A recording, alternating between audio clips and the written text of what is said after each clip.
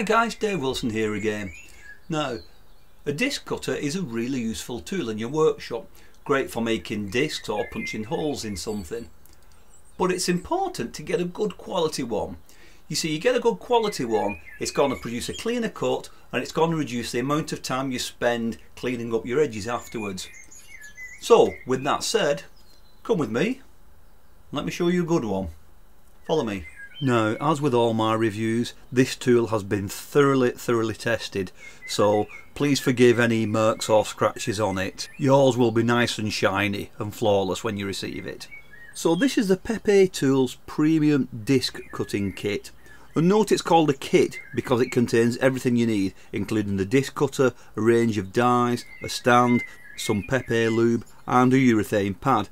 Pepe also supply a set of positioning dies, which I'll show you later. So let's take a closer look at it. There are a lot of disc cutters, so why buy a Pepe? Well, take a look at the base here. The originals were powder coated aluminium, superb quality. They're now made from plastic. Now, Pepe could simply have injection moulded this, as a lot of other manufacturers do. But look at the hole here. The pattern at the bottom of this hole is made from the cutting tool as it's milled and machined the hole. That's right, this has actually been machined from a solid block of ABS plastic. Every hole precision machined just like the disc itself. Look at the labels, they could have just painted them on or used transfers, but no, these have been etched using a laser and this is what Pepe do. They use the best materials, the best methods to produce something that's totally fit for purpose and yet beautiful to behold. And this is just the base that it stands on. So the plate stands vertically, which I think is a great idea. It reduces bench space and it also makes it so much easier to pick up. The disc itself is finished to the same high standard with beveled edges and etched sizes in metric and imperial. The top plate is aligned by three steel pins for stability and there's no need for extra keys or tools. The knurled knob simply unscrews by hand and the spring-loaded unit pops up. The kit comes with 14 punches which correspond to the 14 holes in the plate. These range from 1 8 of an inch or about 3 millimeters up to 1 inch or just over 25 millimeters. So there's a great range of sizes for all uses, either for making discs or for punching holes in something else. The punches feature a 7 degree cutting handle. Now what this means is that it starts to cut at one side and slices all the way around. So because this produces a kind of slicing or shearing action rather than just a straight punch, this results in a much cleaner cut and a much smoother edge on the disc. To use it, Simply place a disc on a solid fixed surface. The Pepe Premium Disc Cutter features a clearing design and what this means is that the punch goes all the way through the material to create a clean cut. So it's important to consider what the cutter stands on.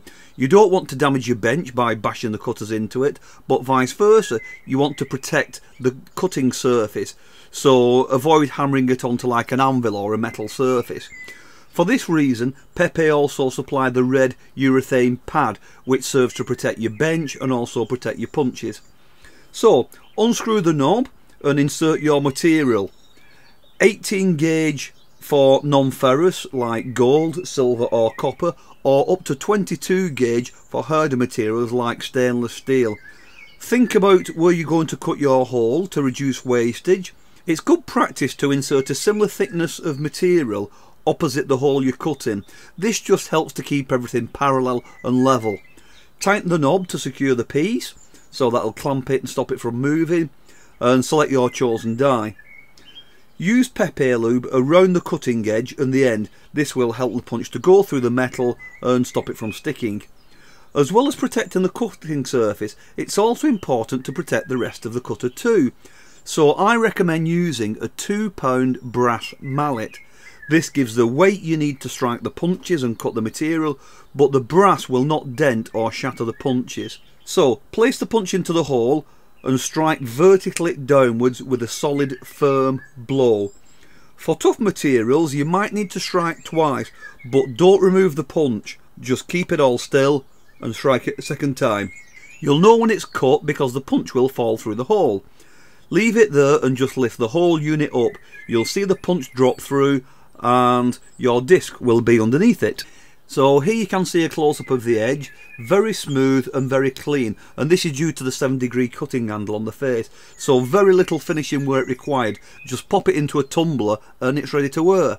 So you can use this to make discs or to punch small holes, much faster than drilling. Couple it with a doming block and you've got a great combination for making all kinds of dome shapes and pendants very quickly and easily. So as you can see the level of finish and the attention to detail is absolutely superb. I don't know of any other company that puts so much passion and attention into every part of every single component including the base. That's why I love Pepe tools and that's why I feel you deserve nothing less.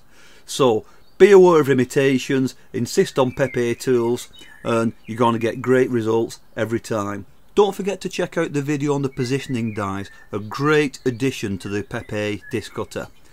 I've been Dave Wilson, thanks for watching and I'll see you soon on the next video. Bye for now.